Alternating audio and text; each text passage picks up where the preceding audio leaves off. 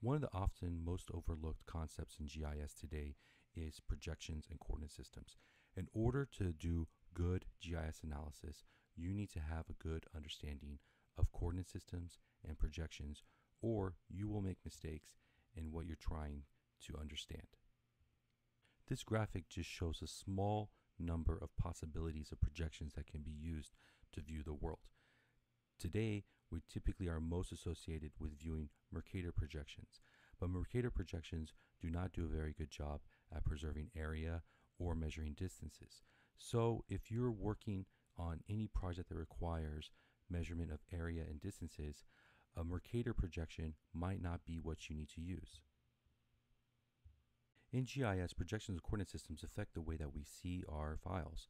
So here I have a state the United States as a shapefile and whenever I go into it and look at the properties of the individual file you'll see that it has a coordinate system under uh, source and explains to you which one it's in. This is in uh, North American Datum 1983 an unprojected geographic coordinate system. This is why whenever you look at the map itself it might look a little strange to you. I want to change this so that I can see it in a different projection that I'm more familiar with, like the Mercator projection. In order to change projections, I go into the data frame properties by right-clicking on the data frame. Whenever I click on that, that brings up this data frame property dialog box, and I can click on Coordinate Systems tab. Here, I will see the current coordinate system that I'm in, NAD 1983, North American Datum 1983. I want to switch that now, and I want to put that into a projected coordinate system. If I scroll up to the top, I see that there's two main folders, geographic coordinate systems. Again, these are unprojected, just longitude, latitude definitions of the 3D surface of the Earth. Or the projected coordinate system, whenever that's been converted over to a 2D uh, graphic. One of the most famous projections out there is the Mercator projection. It's a worldwide projection that's used by Google Maps and many of the online map mapping platforms that we use today. So if I zoom down and roll, scroll down and look at my uh, predefined projections, I will see that I have a Mercator world projection here, which already has all the parameters that are needed for that projection.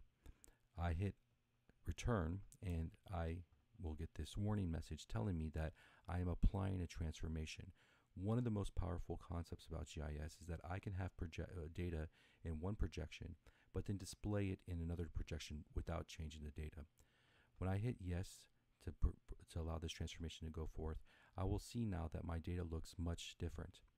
And I can see that it's kind of panned over, but even the shape of it has changed. You can see the area of Alaska has gotten much bigger because of its closeness to the North Pole. You can see here the rest of the United States the way it looks. Many people find this Mercator projection familiar, but also kind of strange. Uh, Mercator does a good job at preserving uh, angles. So you can see here Alaska has a very straight line on the border here because it follows a longitude latitude uh, parallel line. Uh, another projection that is probably better to use when viewing the for the United States is an equal area Albers projection. This is a conical projection that we'll look at more uh, later.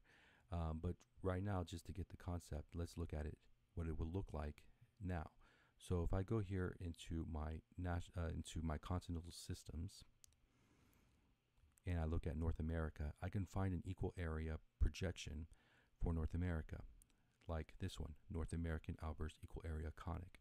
This conical projection will preserve area, but not do a very good job with directionality. So the north arrow will not be pointing up north anymore, but instead now the north arrow, as you can see, is following a conical shape. Here in the middle, it points straight up. But as we go over to Alaska, it goes to the side. And as we go over to Hawaii, you can see it goes over more to the side. But look at the preservation of area of Alaska. Now Alaska is comparable in size to what it actually is. These conical projections are good for area, but not good for directionality.